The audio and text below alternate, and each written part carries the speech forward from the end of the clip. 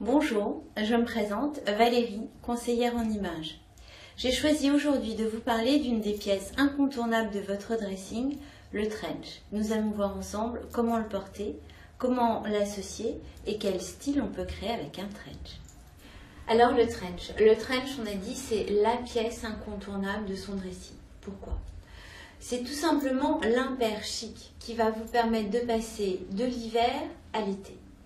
Et le trench, il a un formidable atout, c'est que au niveau de notre silhouette, il nous permet de structurer les formes.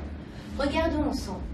Il a une carrure ici bien dessinée avec une emmanchure euh, bien euh, marquée. On a ensuite la possibilité au niveau de la ligne du trench, qui est une coupe généralement en trapèze. Donc ici, on affine la silhouette et on l'allonge. Et avec le système de ceinture, on vient souligner notre taille. Alors pour vous aujourd'hui, j'ai choisi de construire un look pop.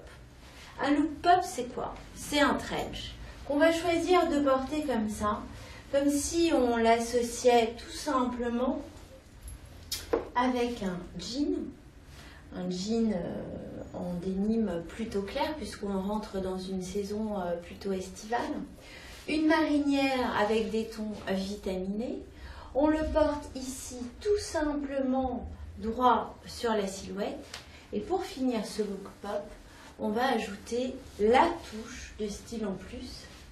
C'est qu'on peut très bien choisir de porter une petite capine qui rappellera le ton de la marinière. Ce qu'on peut faire aussi avec un trench, c'est une version un tout petit peu plus féminine et un peu plus sexy. On peut réutiliser un trench gris une couleur assez neutre, mais seulement cette fois-ci, on va y associer une robe plus élégante, un tout petit peu plus féminine parce qu'on va choisir de la porter peut-être tout simplement au-dessus du genou, plus habillée. On portera une robe en forme trapèze,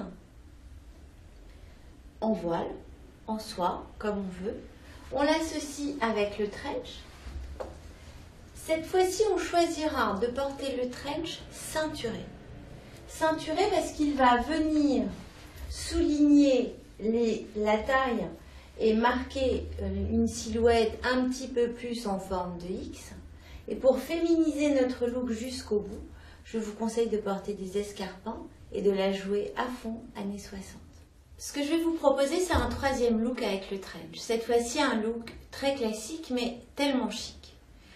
La première idée à avoir, c'est de se dire, voilà, le trench, cette fois-ci, je ne vais pas le prendre dans une couleur classique. Je vais choisir un ton pastel, un ton gourmand, un rose, un rose dragé ou peut-être même un, orangé un peu, un peu pêche.